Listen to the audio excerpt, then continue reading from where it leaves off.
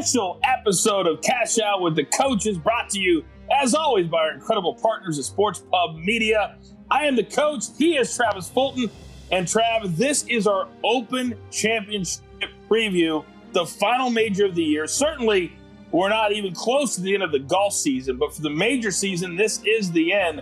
And for the next 30 to 45 minutes, we're going to kind of break everything down storylines, favorites, sleepers we're going back to Royal St. George's, and there's a lot to dive into this week here on our Open Preview. How are you, sir? I'm doing well. Um, you know, it's the Open Championship. It's uh, it's probably the hardest to handicap for for a lot of mm-hmm. us because you know we don't we don't have the familiarity uh, with the golf courses, of course, as much as we do here, working on the rotation. Uh, this time, Royal St. George, we saw it back in uh, 2011. Darren Clarke won uh, at minus five, and then Ben Curtis, uh, surprising finish wow. back in 2003.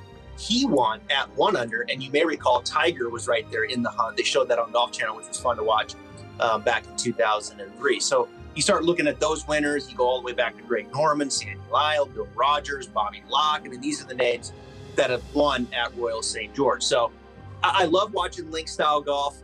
Um, and, you know, it's such a different kind of golf than what we're used to here in the United States. A lot of the big name players are over there the week before to play in the Scottish Open, to get familiar with some of the golf over there, to get on um, the right timetable. So they're all ready to go. So I'm excited. I love watching it. And um, I think it's going to be, I think it's going to be a really good championship. Yeah, a little bit of information for people at home. This will be the 15th time that Royal St. George's has hosted the Open Championship. Um, more than two dozen former major champions, more than a dozen former world number one. Uh, this is really when you part of the reason I love the Open Championship so much is that they do something that other tournaments don't do. Everybody tees off from number one. So you've got like 13 to 15 hours of golf from like 6 a.m. local time, which is what, one or two back here. And you get up in the middle of the night. I know you do it. I do it and you're watching all day, and it's the best. It is the best. It's back at NBC now. They also show the Scottish Open the week before on NBC. So they really lock and load for two weeks. But I think it's so different, Trav, that for fans of golf, and there's not a lot of new fans this year now with COVID, that they're going to see a style of golf that not everybody, famously Bubba Watson, is like, I'll probably never win this championship. Phil Mickelson said it before he got it done. Uh, it's a different style of golf that either you buy all the way in or there's really no point in thinking you're going to win if you're not all in on how this style uh, works. Kind of explain to the people at home before we get into our storylines, kind of what, when you talk about links and the Open Championship and all of these different courses that they play on, what kind of a player is able to do well and be successful? well, I mean, you've got to you've got to avoid the big numbers, of course, right? And and the sight lines off of the tee are are so important and how aggressive um, you're going to play, avoiding bunkers and mm-hmm. things like that. I think there's going to be a lot that goes into when they're there um, Monday, Tuesday, Wednesday, and how they're going to play each hole and where they're going to take their tee balls. And then, of course, from there, into the greens. You've got to be hitting greens. Uh, I think greens regulation, I think, is key. You go back to Darren Clarke and Ben Curtis. I think that's a key stat. Um, you know, this is going to be probably a minus four, minus five type of Open Championship wow. in comparison to say to what we saw last year or two years ago, I should say, with Shane Lowry that ran it up into the teens. So, um, so I think it's it's it's it's not a complete U.S. Open mentality, right? I think you'll probably see um, a few more birdies than that. But you've got to got to have your sight lines off the tee. I think you've got to be comfortable into the center of the greens, greens in regulation. Um, make your solid pars. Take your chances when you can. Um, but this is a good test. I think someone said I was reading. It's the the fairest test, perhaps, of all of the courses. I'm not sure what that exactly means, um, but you know, there, there's going to be a lot, especially from the American players going into it Monday, Tuesday, Wednesday, what is their game plan in playing each one of these holes? Because again, it's a different kind of golf than what they're used to. Well, you bring up the the bunkers, and for those people who are not familiar with links golf, there's not water, there's not a lot of out of bounds. So how you get penalty strokes is by hitting it into these fairway bunkers that a lot of times are so deep or they're pot bunkers that all you can do is just chip out and there's your stroke penalty. That's kind of the difference uh, between links golf and, and and how they they defense the course. This is a betting show. So let's take a look at the betting favorites for the week. And Jon Rahm, as you would expect, he's your reigning U.S. Open champion. He is your betting favorite at nine to one. But then there's a couple others. Dustin, Rory, right there at 11, then Brooks at 14. What do you make of? There's only, I believe I wrote down uh, seven or eight total golfers that are 20 to one or below. And we just saw those names right there. What do you make of some of the uh, of some of the numbers you've seen so far? Well, I, I, think it it makes sense. I mean, Rahm is the number one player in the world. There's no question about it. What he did at Memorial, um, and then how it went down on Sunday. I mean, he was blitzing the field. Then he comes back and he wins the U.S. Open in in terrific fashion, birdieing the last two holes. He is he is the most complete player, as I would put it, right now. He drives the ball exceptional. Um, he's a solid iron player. He's going to hit a lot of greens. His short game is clean. His putting is clean. You know, you think of a Darren Clarke, it's kind of Jon Rahm, isn't it? I mean, there's, you know, there's, I think there's some similarities there uh, mm-hmm. uh, in the way that they go about their game. I think Rahm is a better player than Clarke. I think he's a better putter than John, than than Darren Clarke. But I think from a ball striking standpoint, Darren Clarke is very pure. I mean, he can stripe it and hit a lot of green. So I think Rahm is the safest bet. There's no question. Still questions with DJ. You know, where's he at? Rory still kind of working through some things, although he looked fairly decent um, at the U.S. Open. You know, you go down the list. I would say the second safest might be a Brooks Koepka um, and a Xander Schauffele. I think there's a lot of concern with Bryson. We'll get into later, but uh, Rahm's the most complete player. There's no question. Yeah, right now, I mean, he, he's coming in with an unbelievable uh, confidence. Uh, he's probably still hung over from all the different videos I saw and all the different ways that he was drinking uh, around the U.S. Open trophy. Uh, but uh, like a lot of U.S. Open champions, he has not played since the U.S. Open, and uh, so he'll be fresh. He'll be ready to go. Um, so I, I kind of like his his chances this week, and I like the fact that he's coming in with so much confidence. Uh, and we'll get into Rahm too. So here's what we're gonna do. We usually do uh, two storylines each. you have something? Oh, okay. Two favorites each and then we do two sleepers. Well, I was just going to say real well. quick. Yeah, so so Rahm is playing in the Scottish Open. Um, oh, I know. I'm, I'm saying so he, he, has, he, hasn't played since, but he is this week. Yeah. That, well, yeah. that's what I meant. Yeah, he's. So you got yeah, Rahm, you got Xander, you got Morikawa, Justin, Rory, JT, Hatton. Yeah, yeah. yeah I, I saw somebody. I saw somebody on social media complained about the field at the Scottish Open, and uh, Jason Sobel tweeted back like 15 of the biggest names in the world. They're like, "What else do you want?" which I thought was pretty funny. Uh, all right, let's jump into the storylines that we're going to be. Uh, it was crazy. It was crazy. Uh, let's jump into the storylines that uh, we're going to be keeping an eye on as we get to Royal St. George's uh, next week. And of course, we got to start with the two men, and really one of them will not let this thing go. When Bryson parted with his caddy, Brooks sent out on social media, diabolical as he said, is what National Caddies Appreciation Day. Couldn't do without my best friend on my back. It was next level trolling. But exactly, dropping the elbow. I got to tell you, brother. So, uh, what do you make of where we are with Bryson and Brooks as we head to yet another major? You know, I think it's it's clearly um, it's clearly affected Bryson more than Brooks. You know, there's yeah. there's no question about that you know, Brooks has made it personal. Bryson, I, I think, is trying to play it off the best that he can. Um, but it's affected Bryson's play. You know, Bryson hasn't looked good really at all. I mean, the driver is, I, I think he's slowed down a little bit. Um, his approach game hasn't been good. His short game is is just awful. You know, awful. his touch and his feel yeah. is, is just not good. Now, you know, last week Tim Tucker leaves him suddenly you know, right there before they tee off in Detroit. Um, you know, there's just there's a lot going on there. Um, so he, he certainly is a storyline as Bryson has been now for the last couple years. in everything that he's doing, even before the Brooks Koepka saga, who is playing some pretty good golf. It's a major championship. Um, you know, we know Brooks will get up for this. I think he's hitting the ball pretty well. He reunited with his putting coach, Jeff Pierce, which I think he needed to do. I think he needed to get back to some of the things that he was doing with his putter. He looks much better, much more confident from that perspective. So, you know, the storyline, Bryson Brooks, it's out there. It's one of the biggest ones. And right now, Brooks on the golf course is certainly get the better hand over Bryson because Bryson's got just a lot of question marks right now in his mm-hmm. game. And his caddy, which is going to be, it's going to be interesting to see what he does when he gets over there. Does he use a local caddy perhaps? It, it, he certainly slowed down at the Rocket Mortgage. He was he was walking off the yardages himself instead of what his caddy would normally do. Uh, Brooks is an alpha, and alphas figure out a way to always stay on top.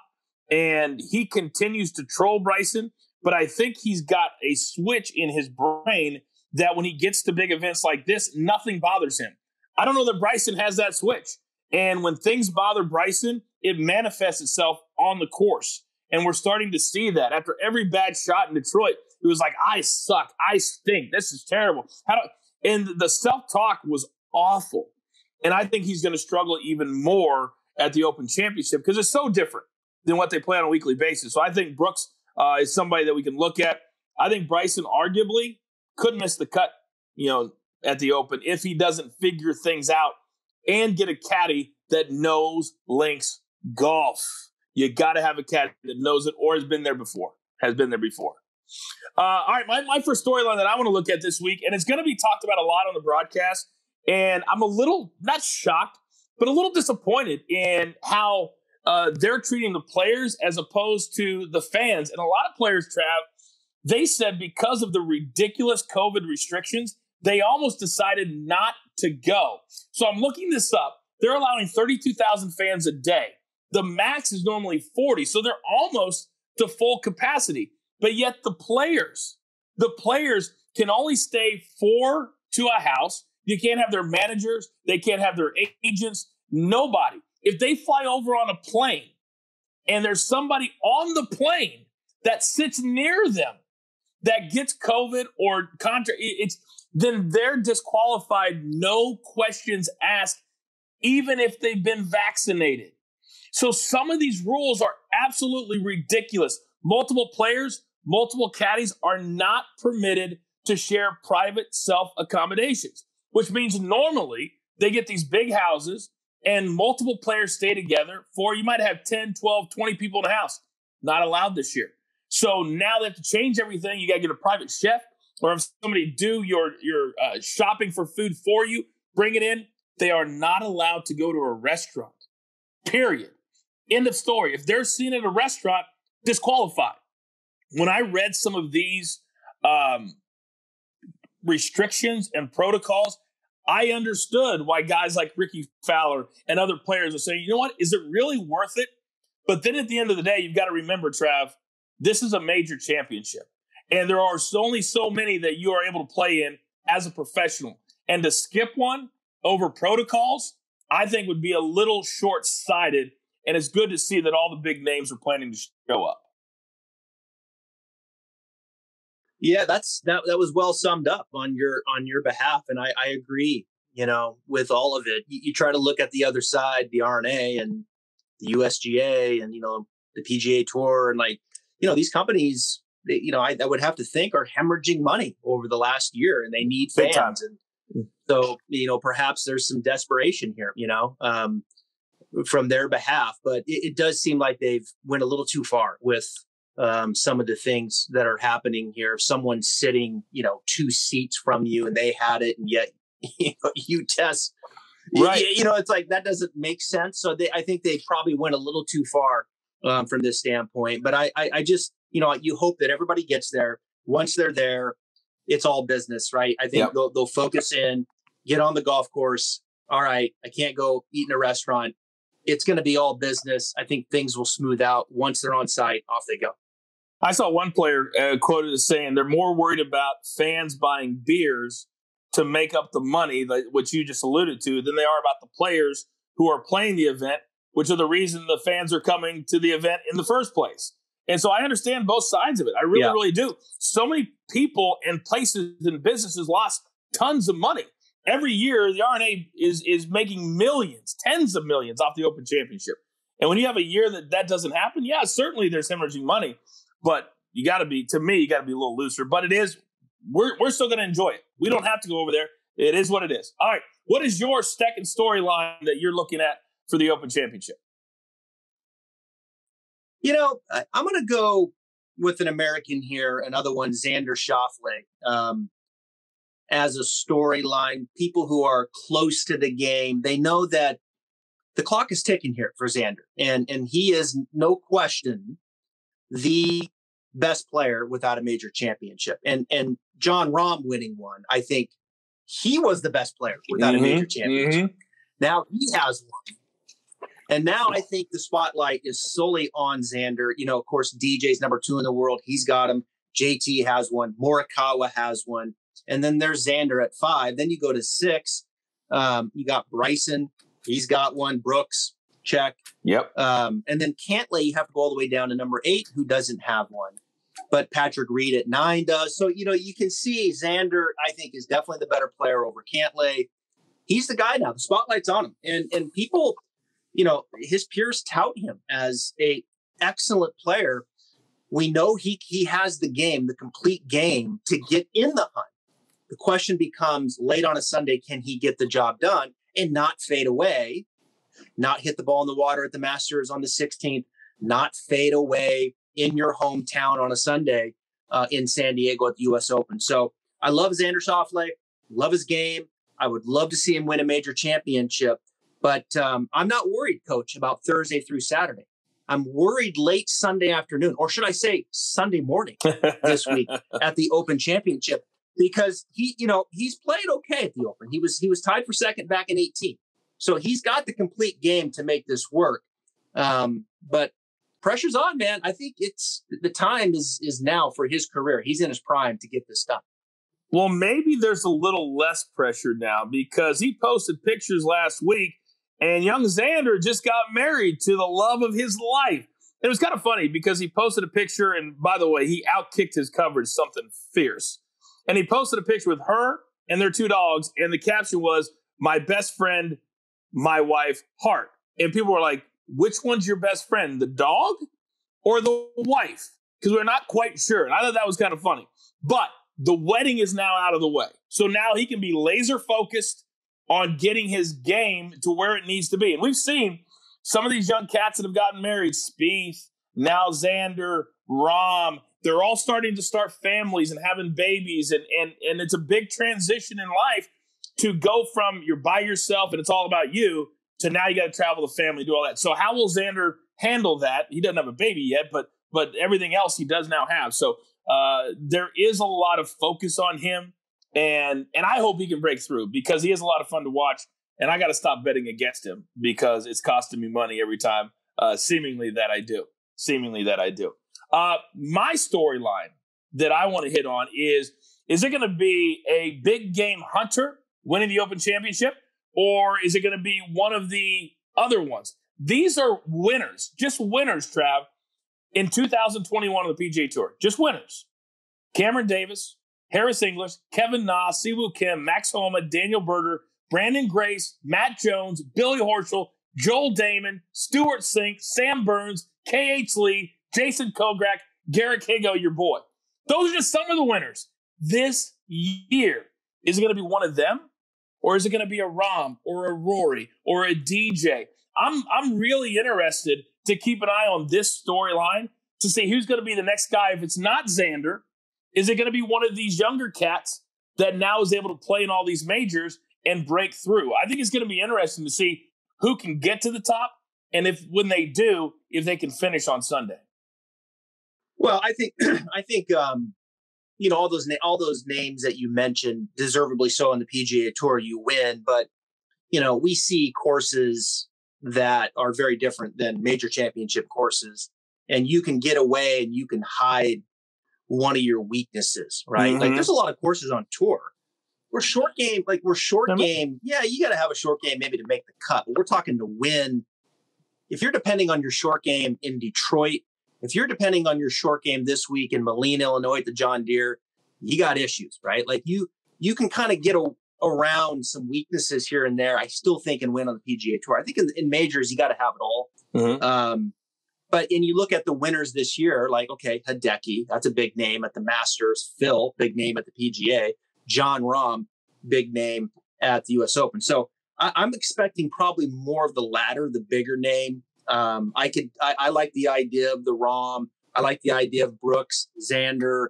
Um, we'll get to Hovland here in a second. I'm thinking down in the 30, 35 to one range um, is kind of where it's going to be versus say a name like a Matt Jones. But there's some young guys like a Guido, some guys that mm-hmm. um, that are over there on the European tour um, that are going to be playing that know that kind of that that know that kind of golf that we maybe are overlooking and are probably overlooking um, that will certainly run up that leaderboard a little bit. Certainly, like a Martin Kaymer is a guy that we'll get to who's playing very good golf, coming in under the radar, um, that has some big odds on him. And I, I, why couldn't he win another major championship? He's got two of them for crying out loud. There is no reason why he he cannot. But let's talk about some of the players uh, now. Let's go to our favorites first, and obviously, right at the top, we got to start with the number one player in the world, who is the U.S. Open champion. And there's nobody playing better than this cat, your guy, Jon Rahm. Yeah, I mean, he is. He's he's the most complete player. He deserves to be the favorite. Um, and you know, there's a lot of question marks. There's been a lot of question marks for a lot of the bigger names this mm-hmm. year. It seems like going in as we've broken down every single week. Um, you know, where's DJ at? You know, he seems a little bit not as focused as as he was there at the end of last year. He's shown signs a little bit as of late. Rory, of course, um, has taken on a few swing changes. Um, and, you know, we, we, saw him really struggle early, but he's kind of picking up the pieces. But we it seems a bit distant yet from the Rory that we know that can win major championships. Bryson, we talked about that. JT's been a little erratic. Um, you know, can Spieth do enough with the driver? So it's like, you know, there's these question marks around these bigger names. And here's Rahm, who I think has now settled in, number one player in the world. He looks comfortable in that the game is on full go. There's no weaknesses. I just kind of look at what Darren Clarke did. I, I think Rahm could come in and do the exact same thing and win this tournament at a four, five, six under, just like he did the U.S. Open. Yeah, and I think the sports books would love that because they always want the favorite to win because most people don't bet on the favorite because the number is too short. So Jon Rahm is what uh, everybody wants to win, and everything you just said. I don't need to add anything to what you just said because sometimes it's as simple as that, and it's as simple as that. Uh, my guy that I'm going to keep an eye on, and I'm still uh, efforting to be his publicist and to really help him with the entertaining side of things, but his game is as good as anybody's right now. And I'm talking about Patrick Cantlay. And we all know, we all know how much it drives me crazy when he plays well on the PGA Tour because he just doesn't seem to enjoy it. And Jack Nicklaus has got on record as saying, I've told him, loosen up, have fun. And he never seems to. But I don't care if he has fun. I don't care if he shows me. I care if he plays well this week. And I think with two wins this year, the Zozo, and then he won at the Memorial, um, and whether or not you count that with an asterisk, it doesn't matter. It's on his record. And I think he could go over with his short game, the way he puts, and the way that nothing else seems to bother him. I think the COVID restrictions will help a guy like him because he's not a social butterfly anyway. So I'm keeping my eye this week on a Patrick Cantlay to potentially get his first major win. Yeah, that would be something, wouldn't it? You know, those are the two in the top 10 that you would point to in the official World Golf rankings that are not, you know, they don't have that signature win um, from a major championship. And mm-hmm. it just feels like Cantlay is always pretty good in bad weather, too, doesn't it? It just kind of seems like he's doesn't phase him, kind of muddled through some stuff. Yeah. Yeah. Yeah. yeah. I like that. Yeah. Uh, all right. Who's your uh, number two favorite uh, that always seems to show up, and maybe this is his time. Yeah, could be. I like it. Yeah. No, I'm saying your your second guy. All right, it could be your oh, second guy is Viktor sorry. Hovland. Sorry, it's okay. My bad, Viktor Hovland. My second favorite. Vic is uh, what is he? Twenty five to one. I think he's twenty five to one. He's right around uh, there. Right yeah. now. I'm not sure if that classifies as a favorite, but, we'll stretch it out. Everyone knows Hovland. He went over there. He won the BMW, um, the International Open there at the end of June, 19 under. Um, and look, I'm I'm just I'm kind of defaulting to I need a I need a fairways and greens kind of deal, right? And and Viktor's always up there, like he's a he's he's like a Rahm where it's like okay, I need to hit my driver and here, and then I need to hit my my iron on the green, and then I need to do it again, and I need to do it again, and then I need to do it again, and, I, and that's like you know that's the kind of person that I'm them leaning on here. Oh, and I missed it. Now I got to get it up and down. And I think Viktor's short game um, has shown growth. It, it, you can see it statistically, especially in the month of May. He's been in the positive from a strokes gain mm-hmm. standpoint. Mm-hmm. Um, I thought he played well at Memorial, didn't putt well. Um, but we've seen some good stuff out of him this year. Wells Fargo, Valspar, he was third. WGC Mexico second. Like he's played some really classy golf. He's looked really like the elite ball striker. And now with the improving short game, I think the putter can be good enough I like Hovland. I, I really do. I think Hovland could be very. I think Hovland could be very sneaky at a golf course um, like this. Because also things don't bother him. The wind won't bother him. Uh, grinding doesn't bother him. Uh, you got to have the, the, the right kind of mental makeup to play a major that is going to be in that minus three to minus seven range, which you know you got to grind and get up and down and everything you just said. So uh, I love Viktor for this spot. The only hesitation I have is he just doesn't have a lot of experience playing links golf. But you can't get experience till you go play. And he's certainly going to play next week. Now, a guy who does have experience in links golf and has one of the most spectacular wins in the history of the Open Championship is my second favorite. And that, of course, is Jordan Spieth. And if I'm going to go to a course, Trav, that I need my short game, if I'm going to go to a course that's going to be minus five to win, if I'm going to go to a course that I need somebody who's tasted the 32,000 fans that have been there before and yell and scream and have to get out of the way and move, there's nobody that's been in the mix more or does it better than my guy Jordan Spieth. And the only thing I don't like is the fact that he hasn't played a lot of golf since the PGA Championship. I don't like it. I think you have to at least play once or twice leading in. And he had many tournaments he could have played in, and he decided not to. And maybe it's to get ready for the Open Championship and the rest of the year, which is going to be very, very busy for a guy like him. But that's the only hesitation I have is his lack of play the last two months. That's it.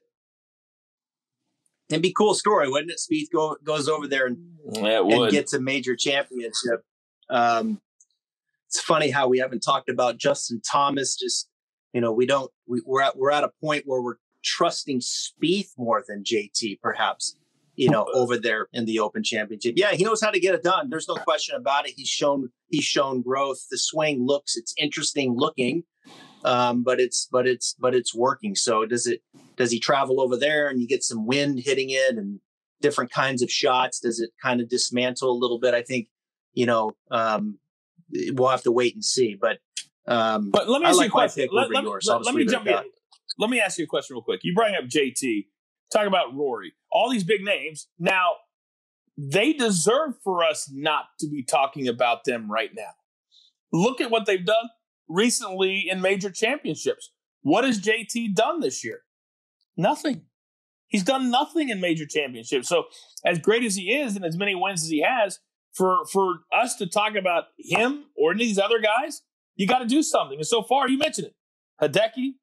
Uh, who are the other winners? Uh, uh, Jon Rahm, and then the PGA Championship was the uh, Phil. So so what else have these guys done? And, and they're not even making top tens. They you know remember JT? He was missing a putt for the cut at the PGA Championship. So um, you know he they don't deserve right now to have us talk about them, and that's okay. That's okay. All right, let's get into our sleepers for this week. This could be any name on the board that maybe people aren't really talking about that could show up and do some damage come the weekend. Your first name is who? I'm going to go to the 36 year old Martin Kaymer. I mean, oh, by the way, he's won two major championships. He's won the players, 11 wins in, in Europe, His best wow. finish um, at the Open was was T seven. But Kaymer's playing good. He's playing. He's kind of got his game in a very nice spot again. He was 26th at the U.S. Open. He finished second mm. behind Hovland that I mentioned yep. um, at the BMW International. I like Martin Kaymer. You know, he he's he's a bulldog, man. When he gets his game right and he gets up there, you're going to have to beat him. You know, like he is a bulldog. He knows how to win. And um, you know, there's some. What kind of story would that be if Martin Kaymer, let's say wins this, which I think he can, and he's got three legs of a grand slam. Think about that. wow, I never really thought about that. You're right. He's won a U.S. Open, and he's he's won, won a, PGA, and he's won the players. Yeah, wow, wow, wow, and the players. He he would have a shot at at, at all five if you count I the mean, players.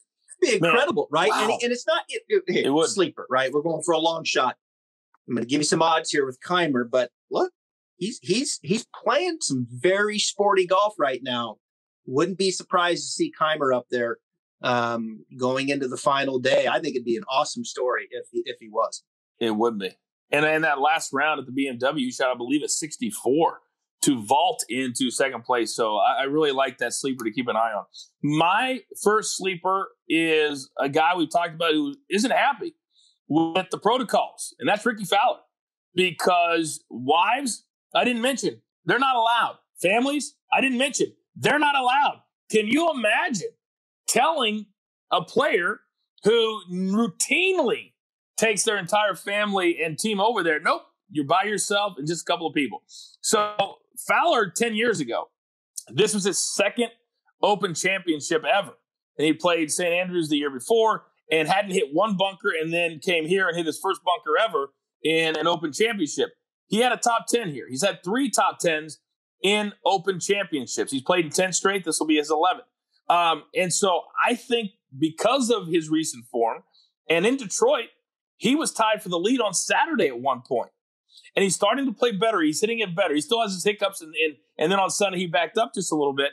Uh, but I like Fowler to maybe a refocus. He's only played in one of the three majors this year because he just hasn't qualified, and he needed a special exemption just to play the PGA, and he had a top ten there. So uh, I think Rickie is is primed and ready to get back to. You talk about a swing all the time. When you really see why did you change?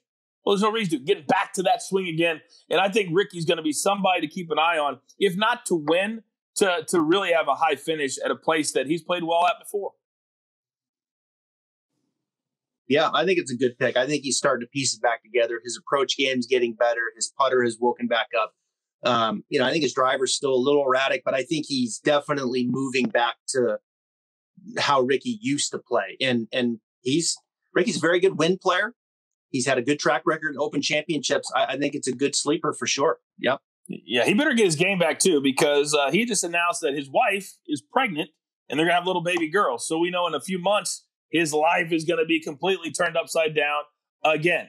All right, let's go to our final sleepers for the show. Who is your second name you're going to be keeping an eye on? Well, I'm going to go to um, a guy here, Tyrrell Hatton, who oh, knows how to play in Europe. I think he's very solid um, over there. He's got six Euro wins. English player. Mm-hmm. We've seen him over here um, get the one PGA Tour win down at Arnie's Place, tough golf course his best finish in the Open, um, let's see, it was well 2016. He was fifth, and then he was sixth in 19 when Shane Lowry won. Which I know you have a few things to say about him, mm-hmm. but you know he's just um, he can be a grinder. We know he kind of puts things on his sleeve, but he is he is that grinder kind of player. Um, you know, I think his I think his approach game is really good. I think he's good enough off the tee. I think he needs that putter coach to get back up to the level that we're used to seeing from Hatton. Mm, I think his putter's let him down a little bit. And perhaps going back over there, the putter wakes up and he matches that up with some good ball striking. Uh, I think Tyrrell Hatton can be a little bit of an under the radar type, type of guy, even though he's the 10th ranked player in the world. It's it's because we never think about him and he continues to elevate. And I, I think it's because we we just refer to him as as entertaining. That he's fun when he messes up because of all the things that he says instead of how good he can be, right? How good he can be. Um, he definitely has the game to win a major. Does he have it up here to win a major? That's the big question about Tyrrell Hatton. But we will certainly keep our eye out for him. My second sleeper, and how do you have the defending champion be a sleeper? Well, you don't have the event a year ago. He's held it for almost two years. He's got to give back to the Claret Jug, but he's also got to find his game here again, too. Now, the last couple of months, he's had some good finishes. Memorial T6, PGA Championship, a very quiet T4. U.S. Open, he did have a T65, which basically finished last after making um, after making the weekend. Uh, I think going back to the Open Championship is going to give him a lot of good vibes. Uh, but nobody is talking about Shane Lowry coming into this Open Championship. That's why I have him as uh, one of my sleepers. Is that he can come in, feel no pressure that normally you do feel when you're the defending champion at a major because they haven't played it in two years. And I think that's going to benefit him. And I think that Shane Lowry could have a really, really good week if his putter is working because we know his iron play is dynamic when it is on. So I think Shane Lowry is somebody to keep an eye on as a defending champion. Yeah, I like it. I think Lowry's. I think Lowry's uh, is a is a really good pick. He he played really good at Memorial. His putter let him down at the Open, U.S. Open, but he played very good at Memorial and very good at the PGA. So, yeah, I mean, it it it feels weird. I'm sure to go in and be the defending champion yeah. from two years ago, but it does feel like probably some of that pressure perhaps has been decompressed, and he can just go in and free will it. That'd be that'd be a cool story. I think you know for for Lowry to go in there. I think Hatton and Lowry are, are two good sleeper picks. I think that as we wrap it up, we're gonna have a full preview of the Open next week with all of our betting picks and all that good stuff as we always seem to do. But I think because of the fact uh, as we close this preview that they didn't have this last year, and that there's gonna be 32,000 fans per day. That this could be one of the best opens we've ever seen because of the anticipation, because of the players that are playing well, but also because of some of the players that we talked about that are new to links golf and to see how they're going to respond to playing at Royal St. George's. I'm really excited. I'm really looking forward to it. Any final thoughts here on the preview? I, am excited. I, you know, I think it's going to be great. You've got the, the Scottish Open, of course, this week over there, opposite of the John Deere um, big names over there. I, I, think how they played there will obviously determine some odds going into the final week. So we'll kind of see how a JT or Rory looks um, in the Scottish, and then make our final picks for the show next week, which uh, I'm I, I'll be fired up to do once again from Northern Idaho, not my mom's basement this time. oh, you're, you're going to be out there for two weeks. Oh, you're going to be yeah. out there for two weeks. Yes. Oh. Look at you. Look at first world problems. First world problems for my man Travis Uh, all right, that's going to do it for our huge open preview. And for Samantha and Cody and our incredible partners at Sports Pub Media, we'll be back with you full betting preview next Tuesday night, 8 p.m. Eastern, in our normal time slot. For Trav, I'm the coach. And remember, if you're going to cash out every week, why not cash out with the coaches? Good luck. Dude.